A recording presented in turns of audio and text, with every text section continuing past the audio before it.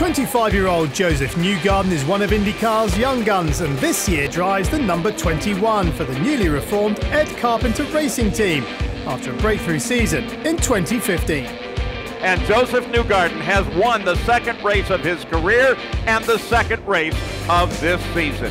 2015 was uh, it was a great year for me. Uh, it was my fourth year in IndyCar, and you know, as a young guy in the sport, I've been working really hard to try and you know, always improve, but you know, figure out ways. You know, how, how are we going to win? And each year it got better. You know, last year was was really the first year that we we could seal the deal. We got the first victory, and then we got a second one, which was great. And we even contended for for more.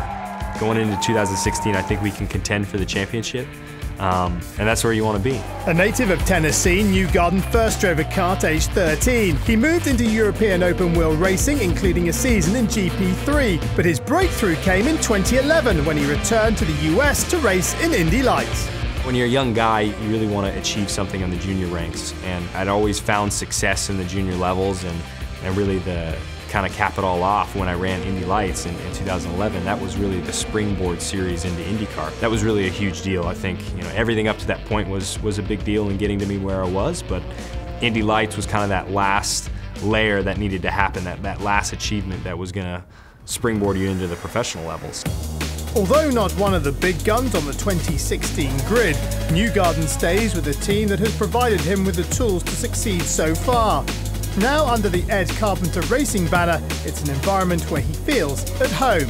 I've been lucky that over my first four years in IndyCar racing, I've had consistency with a lot of the guys I work with. And that really makes it easier to keep progressing. You know, each year you learn a little bit more, you just kind of add to a, a base layer of knowledge. And for me, that's made a big difference. And going forward, I'm with kind of a new group. It's, it's a new ownership group but it's, it's owners that I've been with before. Most of the guys that I work with, the engineers, the mechanics, team managers, they're people I've worked with for, for my entire career. Unlike Formula One, smaller teams can still succeed in IndyCar, parity that provides close racing on the track. Last season, there were 10 different winners of the 16 races.